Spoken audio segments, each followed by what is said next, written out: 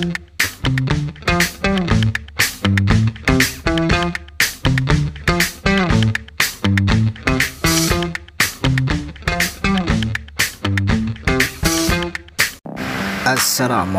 warahmatullahi wabarakatuh. Berjumpa lagi dengan saya dalam channel ini. Pada video kali ini dan pada kesempatan kali ini juga Kita akan saling berbagi informasi baru Yaitu mengenai Ibunda tercinta Rizky Bilar Angkat bicara terkait kedekatan putranya dengan Lesti Kejora. Bagaimana tanggapan, komentar dan reaksi Ibunda Rizky Bilar? Mari simak video ini sampai habis.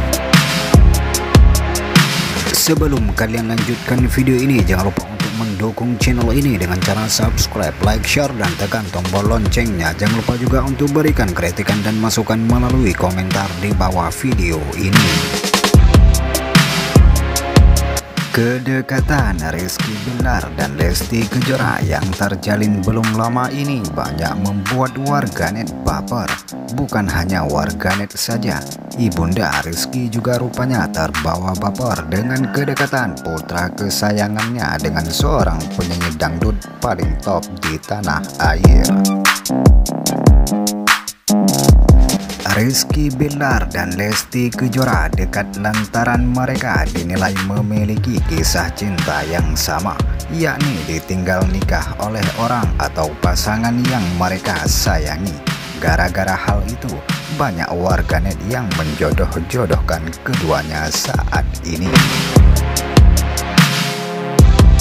Sempat tampil sepanggung Rizky dan Lesti mengaku berbincang di belakang panggung Hubungan mereka berlanjut dan kini Rizky dan Lesti dikabarkan akan melakukan kolaborasi ke selanjutnya untuk konten video YouTube di channel mereka masing-masing.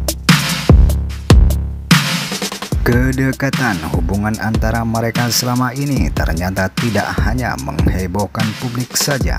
Sang ibunda tercinta Rizky Belar juga ikut buka suara menanggapi kedekatan Lesti dan Rizky. Rupanya sang ibunda ikutan baper sampai mengatakan bahwa Rizky sebentar lagi akan bisa menyanyi dangdut. Beliau ketawa-ketawa aja kayak ngeledek. Jadi gua kan dekat sama nyokap. Nyokap ngisengin gua Ngebecandain gua. Cie bentar lagi pasti bisa nyanyi dangdut nih. Ya gitu-gitulah kata Rizky bilang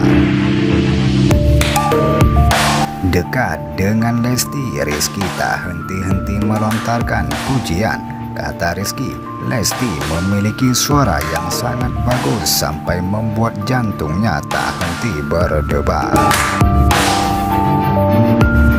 Jujur nih, pertama kali saya ngedengerin orang yang suaranya bagus nyanyi di depan saya langsung deg-degan. Emang suaranya bagus sih. Hati saya berdebar saat itu ujar Rizky lagi. Rizky sendiri mengaku tak bisa bernyanyi berbeda dengan Lesti. Namun Rizky tak memungkiri bila lagu dangdut itu menyenangkan dan asyik untuk didengar. Itu saja informasi yang bisa kami sampaikan kepada kalian semua Yaitu mengenai informasi terbaru antara Lesti Kejora dan Rizky Bilar jika ada kesalahan kami minta maaf. Kami akhiri. Assalamualaikum warahmatullahi wabarakatuh.